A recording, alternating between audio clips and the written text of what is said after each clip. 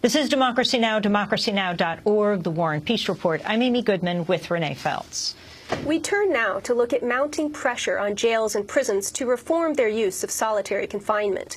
This comes as a corrections officer in New York City was arrested last week by FBI agents and charged with violating the civil rights of a mentally ill prisoner held in solitary confinement at the city's largest jail called Rikers Island. It was the first such arrest in more than a decade. The prisoner who died was 25-year-old Jason Echevarria, who was diagnosed with bipolar disorder.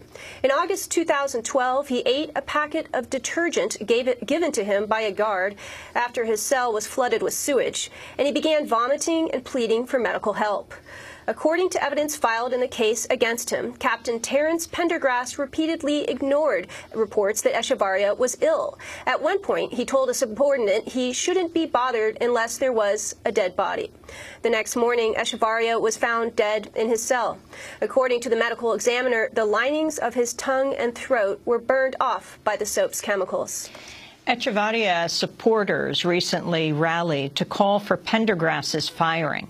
In this report, we hear from Echevarria's father, Ramon, as he joins members of the Jails Action Coalition. We also hear in detail about the use of solitary confinement at Rikers Island from a former prisoner there named Five Mualimmak, who has since been released.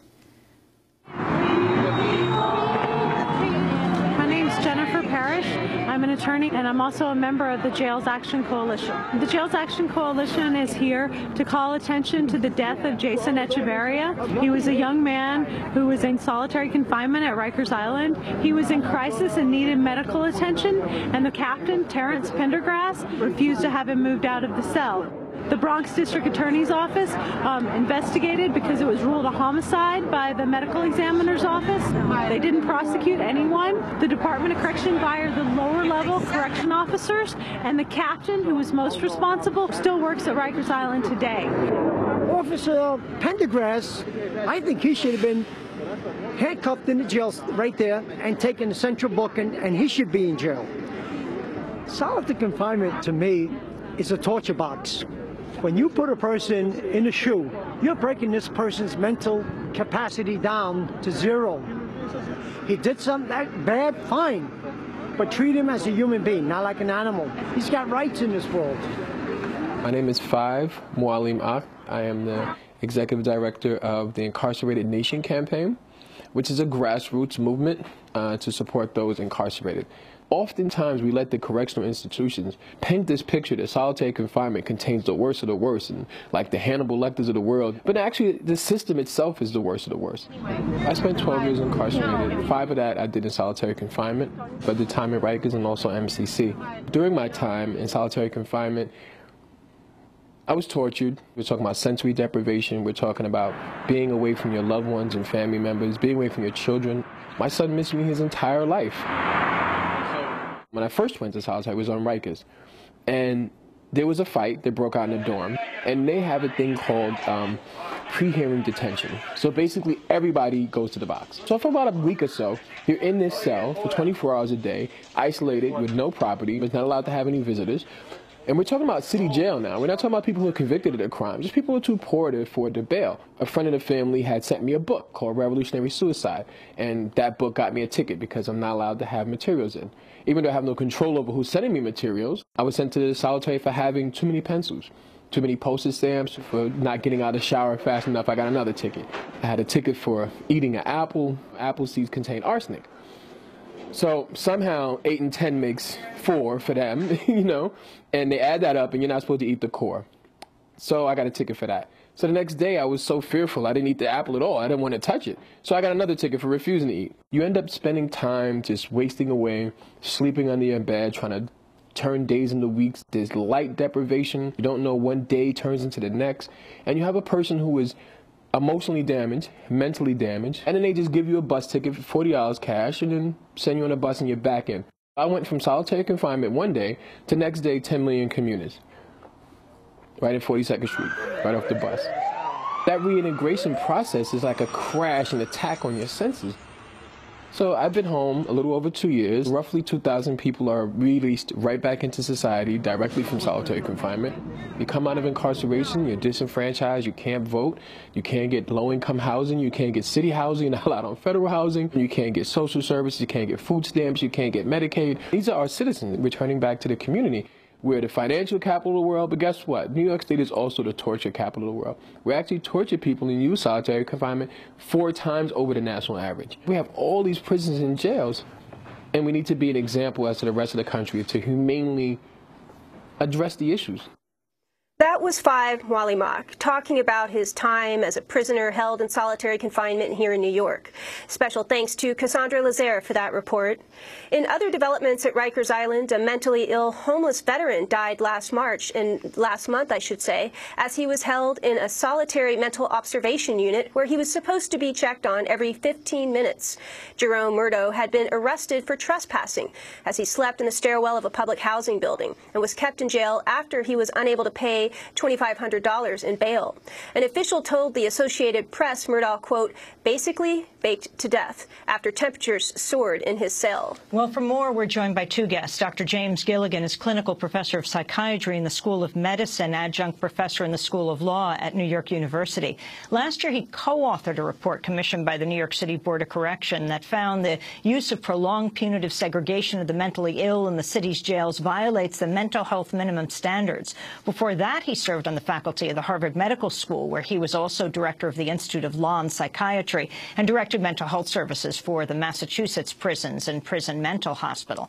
And from Houston, Texas, we're joined by Lance Lowry, president of AFSCME Local 3807 of the Texas Correctional Employees Union, which represents the Texas prison guards. While these unions have sometimes been seen as an obstacle to reforms, in January, Lowry wrote an open letter to Texas prison officials that called on them to reduce the use of solitary confinement, including on the state's death row. He says similar steps should be taken in jails and prisons nationwide. Texas has more than 7,100 prisoners in solitary, including 2,400 who are mentally ill, among the highest in the nation.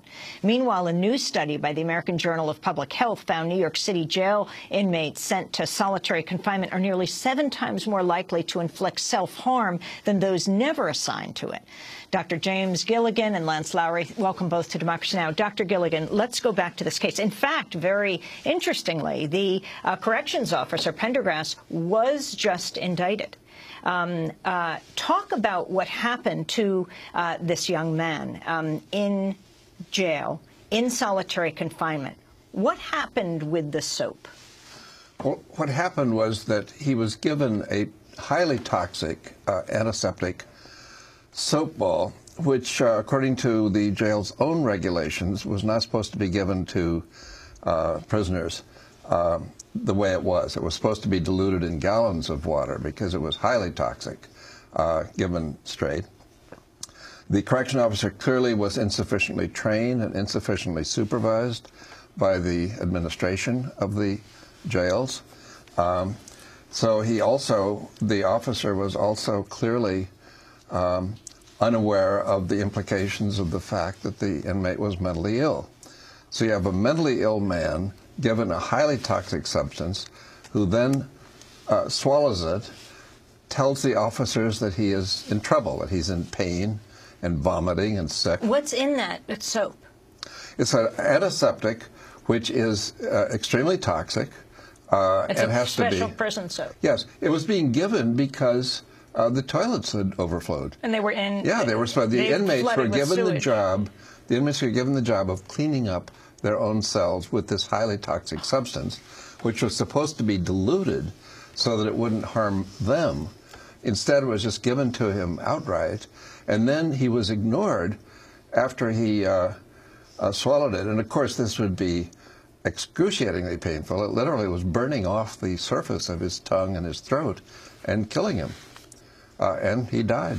And this officer Pendergrass said, uh, "I'll get concerned when when uh, you show me a dead body." Well, that's what that, that those are the reports in the paper. I wasn't there, so certainly I can't say, but that is what I have read. And Dr. James Gilligan, you wrote this report for the City of New York uh, board that oversees the Rikers Island prison where this prisoner died. And he, we noted he was in a mentally ill section of the prison, of the jail, I should say. And you wrote in your report about how the nation's jails and prisons have become de facto mental hospitals for the past half century. And you say even that the proportion of people in this country who are currently housed in a mental hospital or correctional facility, uh, there's about 95% in correctional institutions and only about 5% in these uh, mental detentions, medical uh, facilities. Can you talk about the situation with the mentally ill and the use of solitary with them in Rikers Islands and prisons around the country? Well, as, as you mentioned, uh, the U.S. has criminalized mental illness. We now put the mentally ill, instead of in mental hospitals, we put almost all of them, 95%, uh, in, in prisons and jails instead, which is the worst possible place for them, even if they're not put in solitary confinement. Solitary confinement alone, even in people with no history of mental illness, can provoke hallucinations, where people start hearing voices or seeing things that aren't there. People can become delusional, they become disoriented to reality. Uh, and lose touch with reality. They can become suicidal.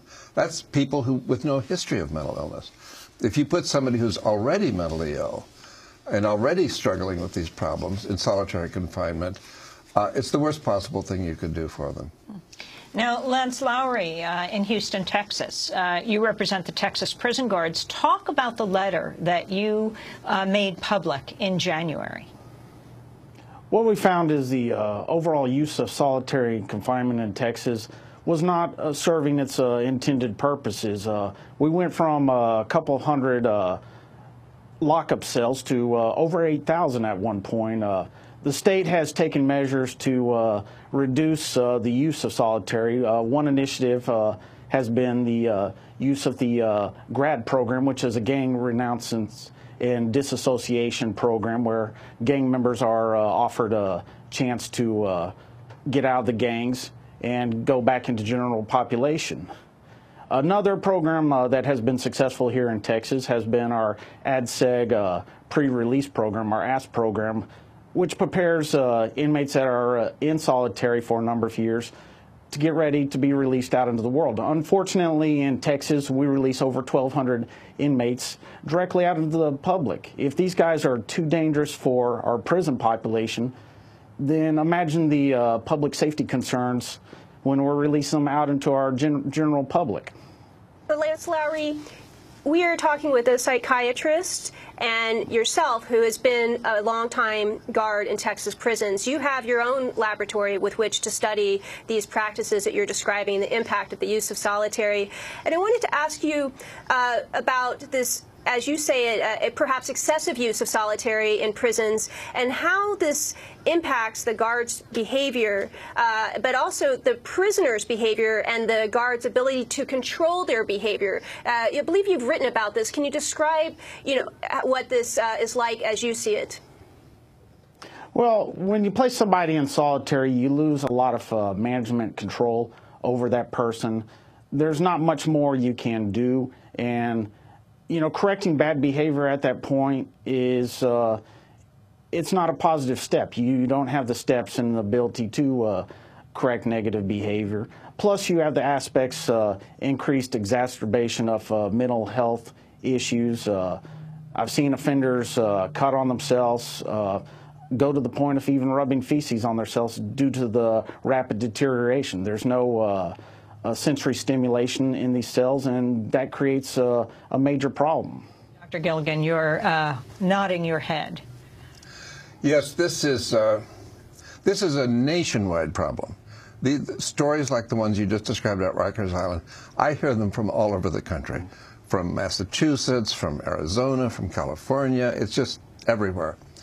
We in this country have made the mistake of uh, after we closed down the mental hospitals in this country, starting in the 1960s, to deinstitutionalize the mentally ill, and get them out of big, overcrowded, underserved mental hospitals, we never put in place the community resources, the community residences, the halfway houses, uh, and the small intensive care units, which the original Community Mental Health Act that President Kennedy signed into law uh, required The country simply closed down the mental hospitals and didn't put anything remotely adequate in their place. As a result, the mentally ill have wound up either homeless, in jails and prisons, or dead, or finally, overwhelming families who aren't prepared and equipped to deal with somebody who is seriously mentally ill. Dr. James Gilligan and Lance Lowry, we're going to go to break, and when we come back, we'll continue this discussion. Then we're going to the border to speak with a young man who was just deported, a young Phoenix man, and now is trying to come back into the United States today. Um, I also want to ask you, Dr. Gilligan, about your recent tour of Rikers Island. This is Democracy Now! Back in a minute.